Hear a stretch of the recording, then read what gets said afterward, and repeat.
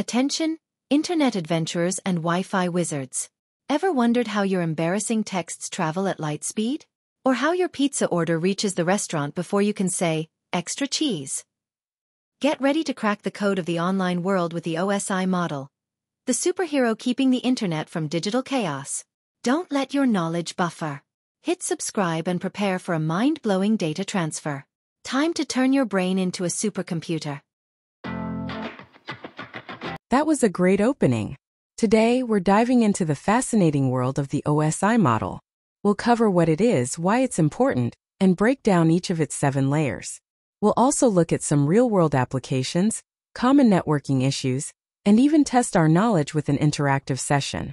Ready to become OSI explorers? Let's get started on this exciting journey through the backbone of our digital world. The OSI model, or Open Systems Interconnection Model, is like a universal language for computer networking.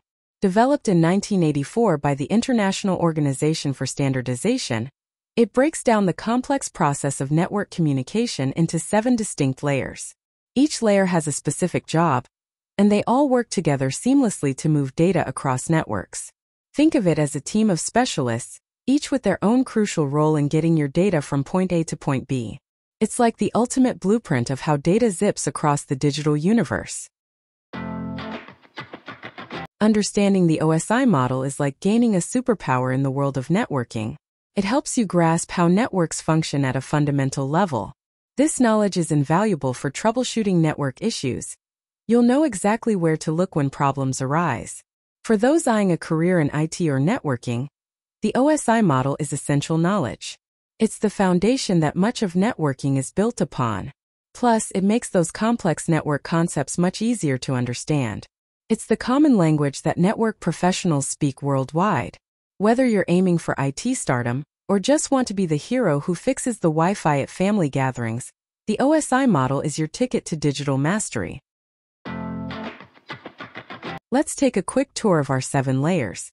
Starting from the bottom, we have the physical layer, which deals with the actual hardware. Next is the data link layer, ensuring reliable data transfer between directly connected nodes. Then comes the network layer, which handles routing between different networks. Above that is the transport layer, managing end-to-end communication. The fifth layer is the session layer, which establishes and maintains sessions between applications. Second from the top is the presentation layer, formatting and encrypting data. And finally, we have the application layer, which provides network services to end-user applications. Each layer builds on the services of the layer below it, working together to make our digital communications possible. Together, they ensure your latest tweet, cat video, or top secret email reaches its destination. Remembering these layers in order can be tricky, so let's learn some memory tricks. Here's a popular mnemonic, Please do not throw sausage pizza away. Each word represents a layer from bottom to top. Physical data link, network, transport, session, presentation, application. If you prefer top to bottom, try all people seem to need data processing. Pick whichever works best for you. These mnemonics might be weird and wacky, but that's exactly why they work. Another helpful approach is to group the layers conceptually. The bottom three layers are the media layers focusing on data movement. The top three layers are the host layers dealing with data processing. The transport layer in the middle connects these two groups. Think of it as a towering layer cake of digital deliciousness. The bottom three layers are like a hyperspace delivery service, while the top three are like universal translators in a sci-fi movie. And right in the middle, our transport layer is the jam holding it all together. The physical layer is the foundation of our networking cake. It deals with the actual physical connection between devices. Its job is to transmit raw bits, those ones and zeros, over a physical medium. This could be electrical signals through an Ethernet cable, light pulses in a fiber optic cable, or radio waves for Wi-Fi. Protocols like IEEE 802.11 for Wi-Fi and Bluetooth operate at this layer. The key concepts here are bit transmission, the physical medium, and signal encoding. It's like a digital gymnast, transforming your data into a gold medal worthy routine of flips and twists that can traverse the globe. Moving up, we reach the data link layer. If the physical layer is about moving raw bits, the data link layer ensures those bits are transmitted reliably between two directly connected nodes. It's responsible for framing data into manageable chunks and uses MAC addresses for physical addressing. This layer is where your network interface card NIC operates and where network switches do their work. Protocols like Ethernet and the Address Resolution Protocol ARP function here. The data link layer also handles error detection, making sure the data hasn't been corrupted in transit. It's like a super efficient postal service for your local network. The network layer is the Internet's traffic director. While the data link layer handles communication between directly connected devices, the network layer determines how data is sent between devices on different networks. This is where IP addresses come into play. The network layer figures out the best path for your data to travel, even if it has to hop across multiple networks. Routers operate at this layer, using protocols like IP, Internet Protocol, and ICMP, Internet Control Message Protocol. Key concepts here include logical addressing, routing, and packet forwarding.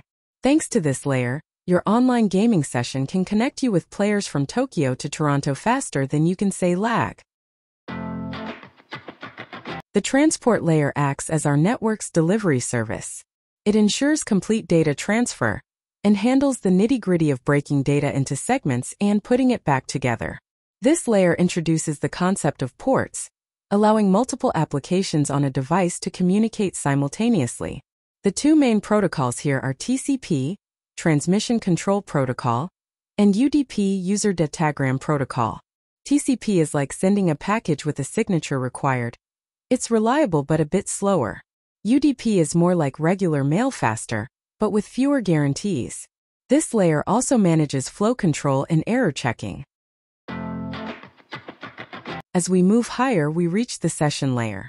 This layer is responsible for establishing, managing, and terminating sessions between applications. Think of it as a facilitator for conversations between applications. It sets up the communication channel, keeps it active for as long as needed, and then closes it down when the job is done.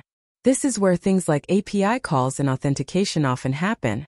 Protocols like NetBIOS and SIP, Session Initiation Protocol, operate at this layer. While it's not always the most visible layer, it's crucial for keeping our digital conversations flowing smoothly. The presentation layer is our data translator and formatter. Its main job is to make sure that the data from the application layer of one system is readable by the application layer of another system.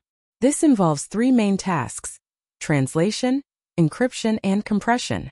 It might need to translate between different data formats, encrypt data to keep it secure, or compress it to make it travel faster. Protocols like SSL, Secure Sockets Layer, and TLS, Transport Layer Security, work here as well as data formats like JPEG and GIF.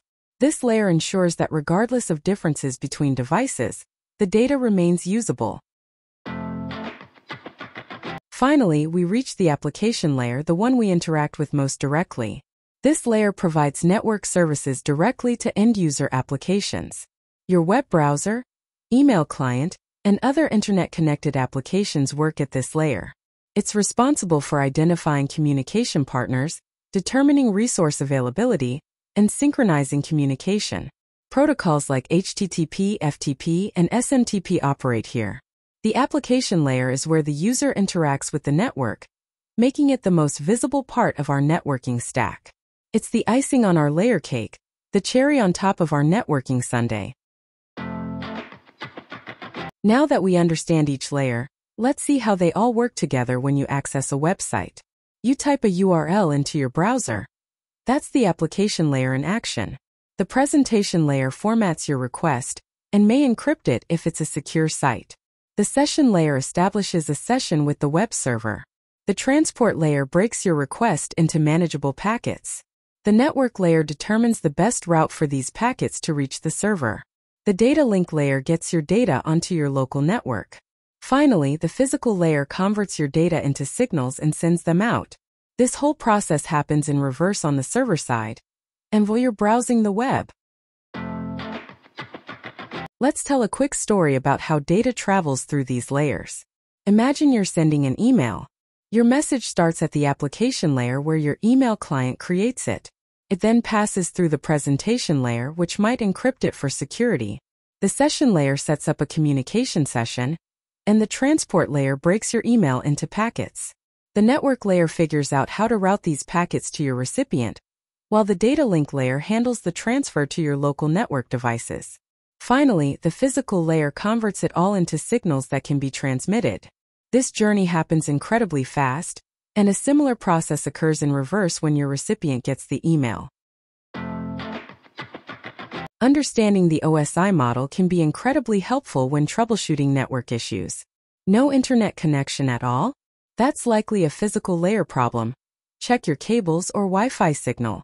Website not loading? Could be a network layer issue with routing. Downloads keep getting corrupted? The transport layer might be dropping packets. Can't log into a website? That might be an application layer problem. By knowing which layer is responsible for what, you can pinpoint problems more quickly and know where to start fixing them. With the OSI model as your guide, you'll be solving digital whodunits in no time. Time for a quick quiz. This section will describe some everyday tech scenarios, and it's up to you to guess which OSI layer is the star of the show. Ready? Here we go. First scenario, credit card details turn into secret code when shopping online.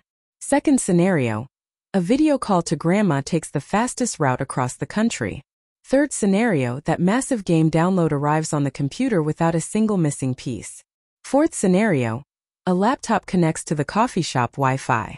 Fifth scenario, opening up a favorite social media app. Think about each scenario. Which layer is doing the heavy lifting? Don't worry if it's not immediately clear. This is all about learning and having fun. Take a moment to consider each scenario and make a guess. Once all the guesses are ready, it's time to check the answers. Now let's review the correct answers. For the first scenario, encrypting credit card details is the presentation layer at work. For the second scenario, finding the quickest path for the video call is thanks to the network layer.